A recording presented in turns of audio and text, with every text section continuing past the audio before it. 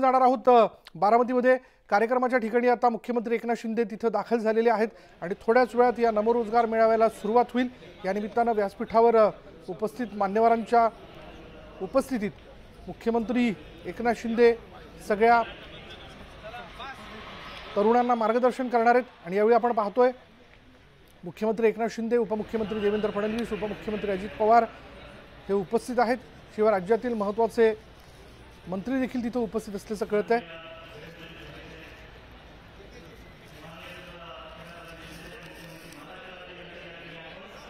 राष्ट्रवादी काँग्रेस शरद पवार गटाचे नेते शरद पवार यांनी सगळ्यांचं स्वागत केलंय.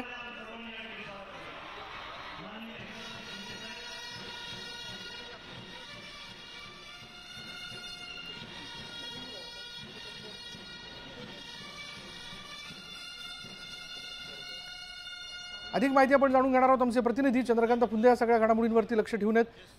चंद्रकांत काय अपडेट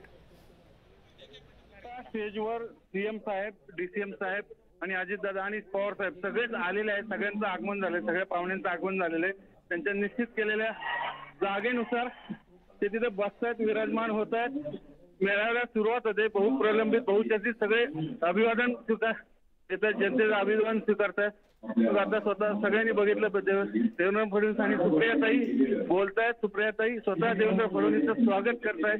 लोढाजींचं स्वागत करतायत. कारण त्या बारामतीच्या खासदार आहेत. सुरुवातीला त्यांना निमंत्रण नव्हतं. पण आता त्यांना स्वतः साहेब आहेत.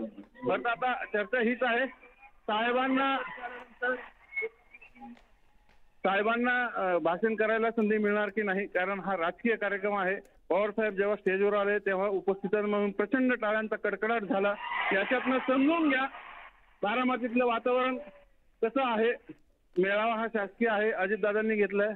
दादा आता साहेब आता दादांना क्रॉस झाले.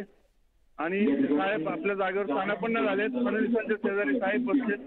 त्यांच्या बाजूला निलमताई आहेत एका बाजूला एका बाजूला देवेंद्र फडणवीस आहेत. मध्ये मध्ये सीएम साहेब आहेत नंतर दादा आहेत नंतर लोडाजी आहेत ते सजलेलं आहे. आता जुगलबंदी कशी रंगते? कारण मेळावा जरी शासकीय असला तरी हे महायुती आणि महाविकास आघाडीचे जे नेते एकत्र येतात पहिल्यांदा एका स्टेजवर कार्यक्रम शासकीय असल्यामुळे पवार साहेबांना बोलायला संधी दिली जाते की नाही हे पाहावं लागणार आहे. आता राष्ट्रगीत सुरू आपण राष्ट्रगीत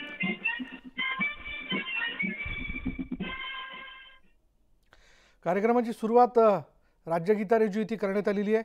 आपण व्यासपीठावरती सगळी मान्यवर मंडळी उपस्थित असल्याचं बघतोय. मुख्यमंत्री एकनाथ शिंदे उपमुख्यमंत्री देवेंद्र फडणवीस उपमुख्यमंत्री अजित पवार मंगलप्रभात लोढा त्याचबरोबर राज्याचे उद्योगमंत्री उदय सामंत आणि इतरही मान्यवर मंडळी इथं उपस्थित असल्याचं आपण पाहतोय.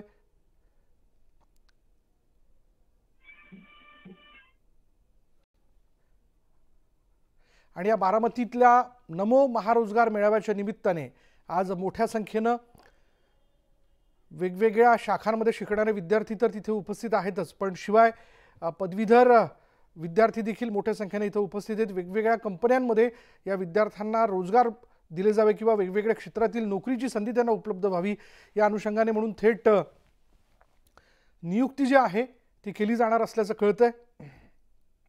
त्या संदर्भात ही नियुक्ती करत असताना नुकतंच आपण बघितलं राज्याचा अर्थसंकल्प देखील सादर झाला आणि राज्यातील उद्योग क्षेत्राला उभारी देण्याची म्हणून काही विशेष तरतूद देखील या अर्थसंकल्पात असल्याचं अर्थमंत्री अजित पवारांनी सांगितलेलं होतं. आणि अर्थात सगळ्यांच्या मनात या मेळाव्याबद्दल अनेक प्रश्न होते ज्याची उत्तरं आज खरं तर मिळणार आहेत. आईनं निवडणुकीच्या मध्येच हा नमो रोजगार मेळावा का घेतला जातो हा देखील राजकीय वर्तुळात प्रश्न जो आहे तो उपस्थित केला जातोय.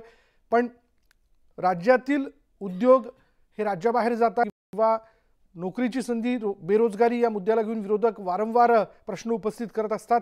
आणि अशावेळी या सगळ्या गोष्टीला उत्तर म्हणून हा नमो महारोजगार मेळावा जो आहे तो बारामतीमध्ये पार पार पाडण्याचा प्रयत्न जो आहे तो राज्य सरकारकडनं केला जातोय. सरकारी कार्यक्रम आहे हा. आणि त्या अनुषंगाने आता आज व्यासपीठावरती मुख्यमंत्री उपमुख्यमंत्री काय नेमकं आपलं म्हणणं मांडतायत काय मार्गदर्शन करतायत हे बघणं महत्त्वाचं ठरणार आहे. पण बारामतीतला आजचा हा कार्यक्रम ज्याची तयारी खरं तर गेल्या महिनाभरापासून सुरू होती आणि ज्या कार्यक्रमाच्या व्यासपीठावर आता आपण मुख्यमंत्री एकनाथ शिंदे उपमुख्यमंत्री देवेंद्र फडणवीस अजित पवार राष्ट्रवादी काँग्रेस शरद पवार गटाचे सर्वे सर्वा शरद पवार उपस्थित असल्याचं आपण बघतोय.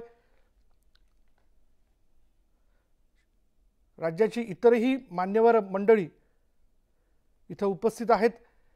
अधिक माहिती पुन्हा एकदा आपण जाणून घेऊयात आमचे प्रतिनिधी चंद्रकांत फुंदे यांच्याकडनं.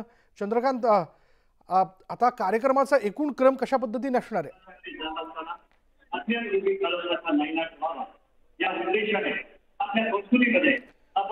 चंद्रकांत आपल्यापर्यंत माझा आवाज पोहोचतोय?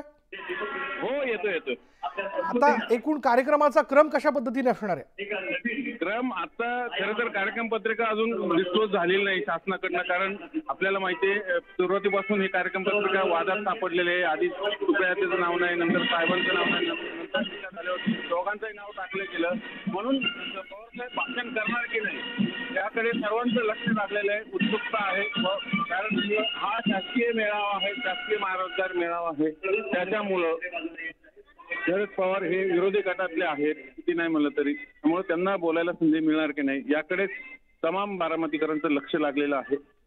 आणि विशेष म्हणजे मुख्यमंत्री आहेत दोन उपमुख्यमंत्री आहेत लोढाजी आहेत त्या खात्याचे प्रमुख. त्यामुळे आता हा जो क्रम कसा आहे त्याबाबत सर्वांना उत्सुकता आहे. कारण शासनाने कार्यक्रम पत्रिका डिस्क्लोज केली नाही. अगोदरच्या काय ज्याला आपण रूपरेषा म्हणतो फ्लो आपण फ्लो चार्ट म्हणतो कार्यक्रमाचा ती डिस्क्लोज केलेली नाहीये. त्यामुळे पवार साहेबांना बोलायला दिलं जाणार की नाही. याकडे सर्वांचं लक्ष लागलेलं आहे. पाहूया आता काय होतंय. आता आता सर्वांचं स्वागत होतंय. आणि विशेष म्हणजे सुनेत्रताईंचं नाव आधी पहिल्या रांगेतल्या खुर्चीमध्ये नव्हतं. त्यांना ऍड केलं गेलं. याचाच अर्थ आपण समजून घ्या. सुप्रिया सुळे पहिल्या रांगेत आहेत म्हणून सुनेत्रताईंचंही नंतर खुर्ची तिथे ऍड केली गेली त्याची नेम प्लेट ऍड केली गेली. त्याच्यावरनं अगदी बारामतीतली ननन भाऊजेची प्लेट जी राजकीय लढाई जी होणार आहे ती अगदी सर्वांना आता मुख्यमंत्र्यांचं स्वागत होतं. आपण बघतोय लोढाजी ज्यांच्या खात्यातर्फे हा महारोजगार मेळावा घेतला ते स्वागत करतायत. मुख्यमंत्र्यांचं स्वागत केलंय. त्यानंतर फडणवीसांचं ते स्वागत करतायत. त्यानंतर साहेबांचंही स्वागत करतील ते. साहेब खरं तर उठले असते स्वागतसाठी. पण आधी देवेंद्र फडणवीसांचं स्वागत होतंय. त्यानंतर मग कदाचित आधी दादांचं स्वागत होईल. प्रोटोकॉलनुसार दादांचं होईल मग साहेबांचं होईल बहुतेक. म्हणजे स्वागतही बघा इथं प्रोटोकॉल नुसारच झालेलं आहे. अजून शरद पवारांचं स्वागत झालेलं नाही. हे याच्यात कारण जरी माजी केंद्रीय मंत्री असले तरी सध्या शासनाच्या कुठल्याही पदावर नाही. संविधान आपण म्हणतो. त्यामुळं आता त्यामुळं आता कोणाचं पवार साहेबांचं स्वागत होतं का नाही? क्रमात होतंय ते पाहावं लागणार आहे. पण त्या क्रमाला तर आपण पाहत जाऊया नमो महारोजगार मेळावा म्हणून तर या मेळाव्याची चर्चा आहेच चंद्रकांत पण पत्रिकेमध्ये प पवार साहेबांचं नाव असणं नसणं या सगळ्या वेगवेगळ्या मुद्द्यांना घेऊन खरं तर हा मेळावा जो आहे तो चर्चेत राहिलेला आहे. आता सगळ्यांचं लक्ष लागलंय की शरद पवार या कार्यक्रमात बोलणार की नाही याविषयी निश्चितपणे काही कळू शकतंय का? आणि निलमताई बोलतायत साहेब बसून आहेत त्यांच्या पायामुळे त्यांना उभं राहता येत नाही. त्यामुळे आता साहेबांचं स्वागत कधी होतंय? त्याकडे सर्वांचं लक्ष आहे. हा शासकीय प्रोग्राम आहे. शासकीय प्रोग्राम पाळला जातो.